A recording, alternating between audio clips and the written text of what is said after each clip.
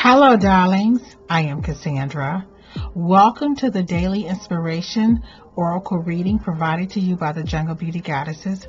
I have randomly selected three cards to provide you with some type of inspiration for your day.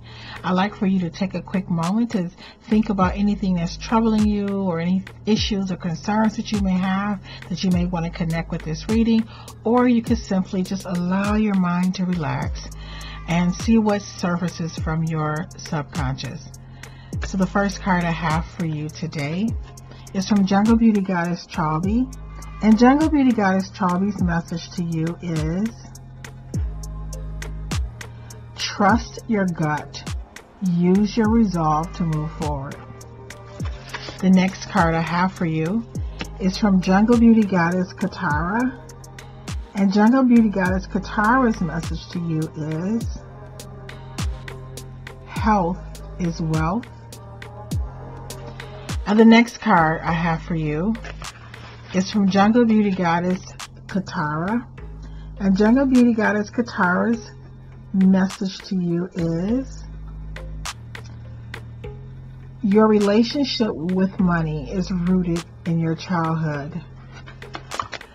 Okay, my collective intuition for this hand is that whatever problems you're having now regarding money, it is related to your childhood, how you were tr- treated, and in order for you to move past the problems you're having, you're going to have to dissect, like, like go back and look at your, your childhood and say, okay, how did I handle rejection? How did I handle when I didn't get the attention that I needed or when I wanted something and my parents didn't buy it for me. And looking at all of the ways that you dealt with money when you were growing up and then come up with a strategy that you're going to apply to your life now because that strategy is going to literally change your life and move you forward. Health is wealth is I feel that we're talking about the health of your your self-esteem, your self-worth, your self-honor, your self-integrity, your self-love. This is your this is your health. This is your real wealth.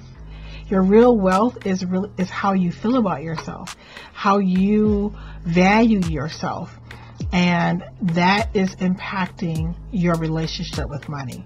So that's the big overview look um, intuition that I have for this hand. So I like for you to think about how your family dealt with money. Did you get an allowance? Did your parents give you money? Did you have to work for money? Uh, what was your first job? But before you even get there, like, did your parents fight about money? Did you have enough money in your family? What was it like in your family concerning money? What did your parents tell you about money? And um, how much they think you should make and how much money you should have. And um, because all of anything that you're experiencing right now regarding money trust me it is coming it is stemming from your childhood. Even if we didn't pull these cards but that's what the cards that's what the cards want to talk about today. Like for example um, when i was a kid i always received an allowance from my dad. My first allowance was 75 cents and I would immediately go and spend my entire 75 cent buying now and later, now and later. So I don't know if they still make those candies for all of my friends. I would go to the corner store and I would immediately spend my money on my friends, either on the ice cream truck or at the corner store because I wanted them to be my friends. And I, as, as soon as I received my allowance, I would tell you within, I don't think I've ever held on to it for over an hour and and everybody kind of like waited outside for me to come and like share. And I've always been that person who just give gave way too much, and it's something that I've struggled with my whole life. And so when I go back in my life and I think about what um, how this relationship with money developed, I was the oldest of two brothers, and whenever the cookies were burnt or the something was broken or if the sausage was not cooked right, anytime something wasn't perfect, my mom would always say to me, "You're my big girl. You're the oldest. You should eat it," because my brothers wouldn't want it.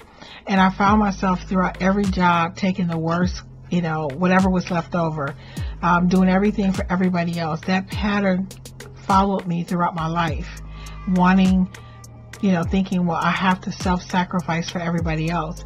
So my uh, student loan debt to me is a reflection of a person who has had all type of emotional debt throughout my life. And I feel that the the wealth in terms of money is really just a reflection of how we have, like I said, valued ourselves throughout our lifetime. So the collective message to you, darling, is that you are enough. You, you are enough. You don't have to pay for friends. Will you be my friend? I'll treat, I'll buy it, I'll do it, I'll, t-, you know, I don't know if you've been that person before, but it stems from feeling like you're not enough. You alone are not enough. And your true wealth is your self, you know, your, um, how you feel about yourself, your self esteem, your self love. That is the real wealth here. So the purpose of this reading today is to give you a moment to reflect on the relationship that you have with money and your family, with your parents, how that impacted you today, and to come up with a strategy. Use your resolve to move forward. So this is a card we have from Jungle Beauty Goddess. Trust your gut. Use your resolve to move forward. For me, I really have to focus on, you know, not treating people all the time, and it's really difficult for me. Um, it's, it's for me to step back, buying gifts that I can't afford, putting myself in in positions where I'm just always stressed out because I'm af- I'm so afraid of being rejected. Um, so I didn't grow up without money, but I grew up in a home where I felt that I had to always sacrifice whatever I wanted because I was the oldest and that bled into every aspect of my life. So I like for you to take a moment to look in your life, your relationship with money, your childhood, and come up with a strategy. Make sure you become conscientious. Like right now, I have to, I make sure that I ask myself, like, why am I doing this? I really, you know, why I have to allow people to pay for their own things. Like I'm very conscious now about that relationship that I had with money as a child and it's actually helping me and I have to get over the guilt or thinking that well maybe you know people don't seem to call as often if they're not going to get something free from you from me. So you have to think about that. That is what the cards want you to think about today. I really hope this video helps someone. Thank you so much for watching and I look forward to seeing you in the next video.